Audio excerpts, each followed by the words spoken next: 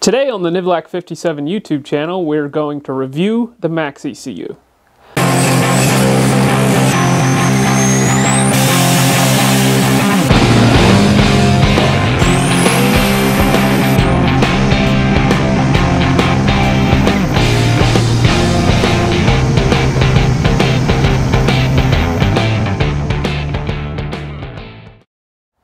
To start this video off, I just want to remove any doubt of any inherent biases that you may think I have. I've used Megasquirt, HP Tuners, Speeduino, Holley, and a few other ECUs. This is just my experience. I'm not being paid by MaxxECU whatsoever. Just like with the engines that we run, frankly, if Coyotes were a little bit more affordable, we'd be running Coyotes, but GM just makes a better bang for your buck product, so we typically run GM engines. It's not really a uh, tribalism thing to me. If Holley made a better ECU for this particular case, I'd be running a Holley. And we do run Holleys on other cars, and they work well. Now, something you're going to see me doing in this video a lot is I'm going to be comparing the Holley to the MaxxECU quite a bit. Holley is one of the most popular ECU options out there, so that's why I'm doing that.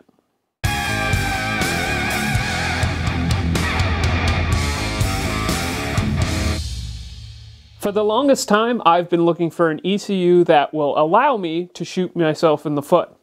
Obviously, my goal is not to shoot myself in the foot, but I want an ECU that gives me the amount of control and takes the handcuffs off so that I can make the ECU do exactly what I want it to do. Now, for most people, you probably want those handcuffs in place. If you don't have the experience to know exactly what you're doing and what you're changing, you know, having those handcuffs in place can be very helpful and keep you from hurting your stuff. The problem with the handcuffs is a lot of times they keep you from doing what you actually need to do. A good example of this is the Eagle Talon that we built with the front wheel drive 4T80E. We were having extremely harsh shifts on that car. The factory modulates the transmission pressure control solenoid.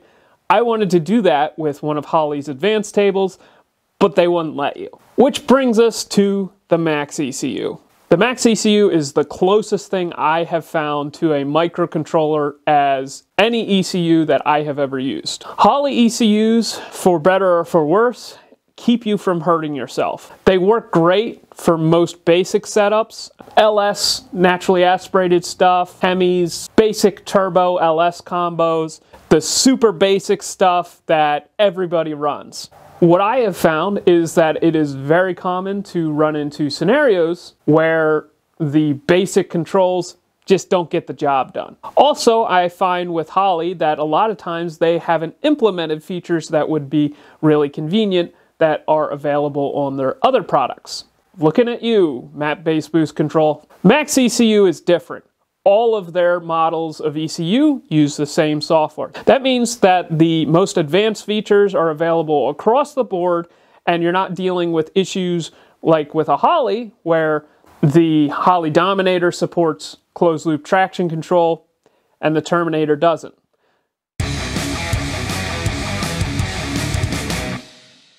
One of the things that I really like about the MaxxECU is the I.O. handling. On a Holley, a lot of the I.O. is fixed, meaning you cannot decide what you want that input or output to be. If you're running a six cylinder and you have a eight cylinder box with eight injector outputs, those two extra injector outputs and spark outputs, you can't reassign them to do other functions. Instead, you're stuck with your four ins and your four out. The MaxxECU lets you define any pin to do anything you want. Now, there's certain pins that are designed to do certain things. Like I said, it's the closest thing to a microcontroller that I've ever used. All right, so let's go over something that I think is rather cool that you can do with a MaxxECU, but not with anything else that I've looked at.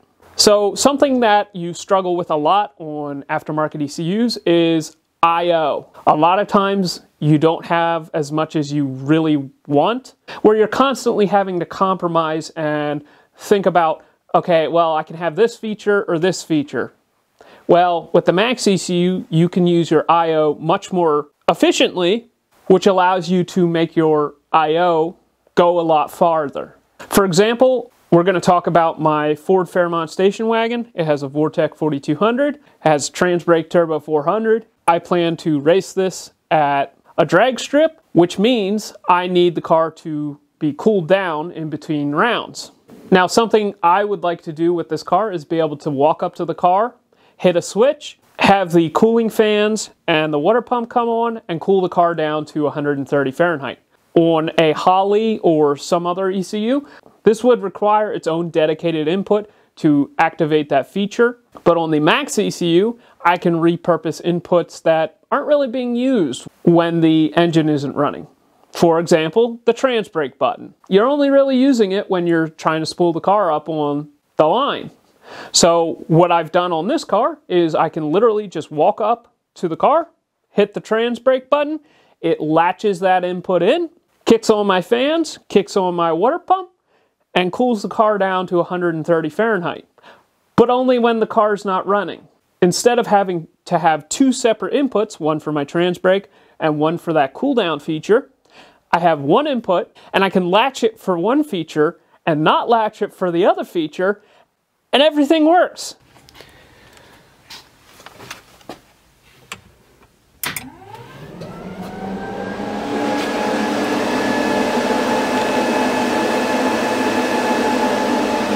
This is why MaxxECU is so much better. Like I said before, it's like a microcontroller. I can basically write my own code to make the inputs and outputs do exactly what I want them to do.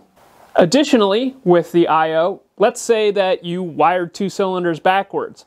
On a Holley or a Megasquirt, you have to repin the ECU. On a MaxxECU, you can literally just change the assignment in the ECU. This is really useful for cases where like you're using a stepper motor or something like that, where you're trying to figure out, you know, which way you have the A and the B solenoid wired, and you can just play around with it in the software instead of having to climb under your dash and repin the ECU 45 times. Never been there. That's never happened to me. Nope. Definitely not.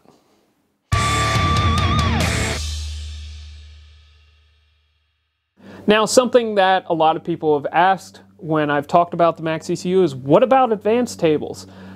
Well, that's something that really makes the Holley very powerful. You have the ability to make these advanced tables to accomplish tasks that maybe they didn't think of, and they're really powerful. Well, MaxxECU has their own, uh, they're called user tables, and they can basically perform the same functions as the advanced tables, and more. You can essentially change any control in the ECU. What's not great about the Holley advanced tables is they only let you do certain things. That being said, I really haven't had the need for an advanced table on the MaxxECU. The Holley, you need an advanced table for everything. You want to add a safety, you need an advanced table. You want to add flex fuel, you need an advanced table. These simple things should just be built into the ECU. If you have a flex fuel sensor, turn on the flex fuel. It's not difficult, you know, it, it shouldn't be complicated, but with a Holley, you gotta burn one of your tables. It is what it is. With the MaxxECU, there hasn't been a feature yet where I've needed an advanced table. Everything's built in. They've already thought of it. They've already built in a function that does the job exactly the way I need it to. Additionally, they have something called add an axis.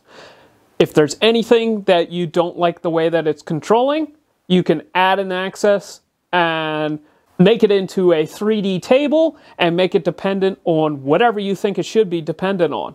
A good example of somewhere where you might need this is on your fuel table with an engine that has VVT.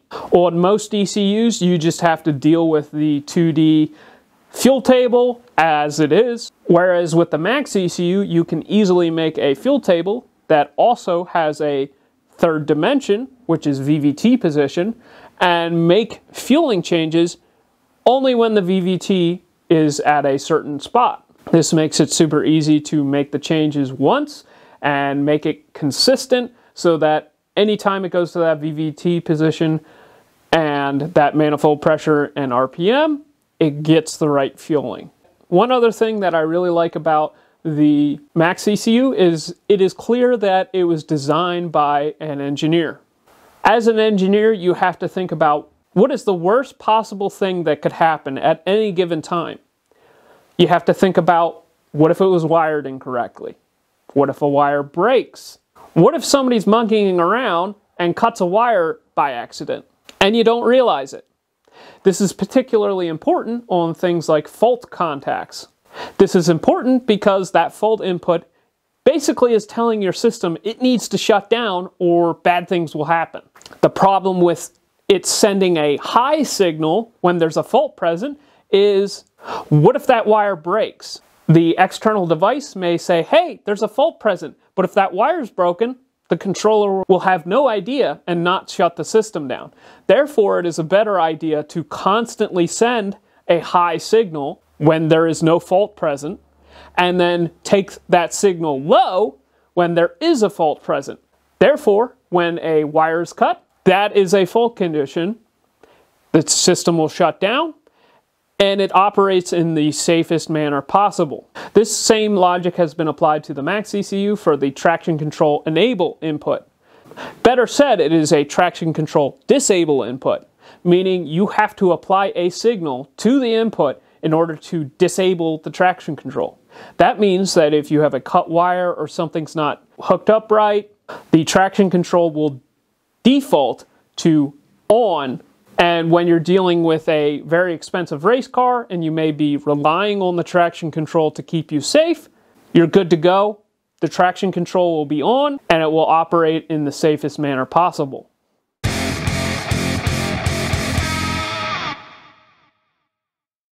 Another feature that is great on the MaxxECU are the data logs. They have a feature in them where you can enter your time slip and it will automatically plot all the incremental times in your data log so you know exactly when you cross that time. This is extremely useful because you can figure out exactly where a issue may have been happening on the track. One such example of when this was useful for us is on this car. The one pass I've made with this six cylinder, it made a 990 pass at 134 and I was a little confused by the slow 60 foot.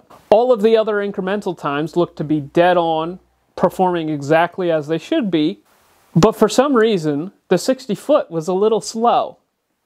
When we reviewed the video, we saw that the car did a little bit of a bunny hop at the 60 foot cone, and it made us think, oh, the front wheels might have been in the air and we didn't trip the 60 foot cone with the front tires.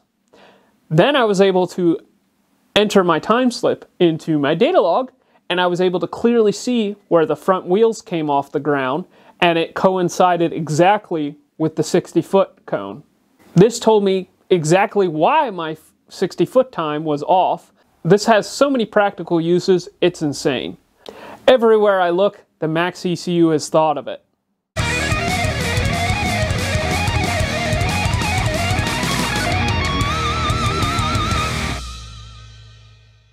Now, all that being said, one area where the MaxxECU is really lacking is digital dashes. Their recommended solution is to use a Android tablet with their M-Dash Android application. Now, I've used Android tablets to try and make digital dashes before with my Megasquirt stuff, and no, just just no.